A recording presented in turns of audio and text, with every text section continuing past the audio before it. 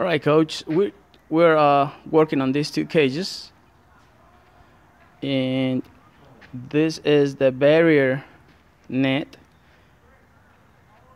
as a door, and on this part that is coming like that, we put a chain because I thought it's gonna help a lot.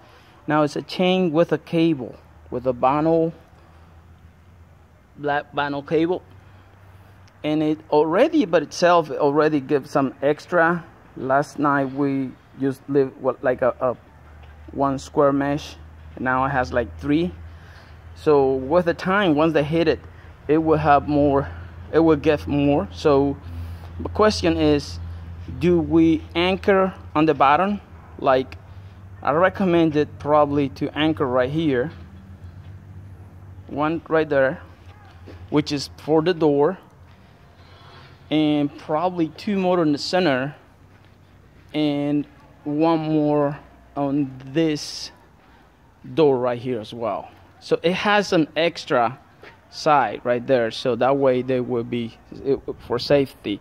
And um, well hope you see the video. You see the uh, cages how they are. Square tight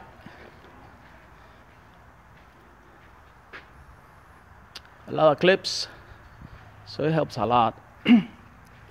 Right here we have an we're gonna run a, a cable upright cable to open this wider.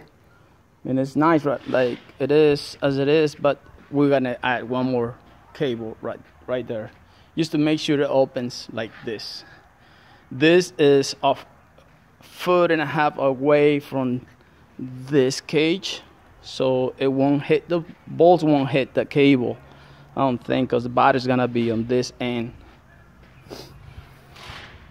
All right coach. Let me know what you think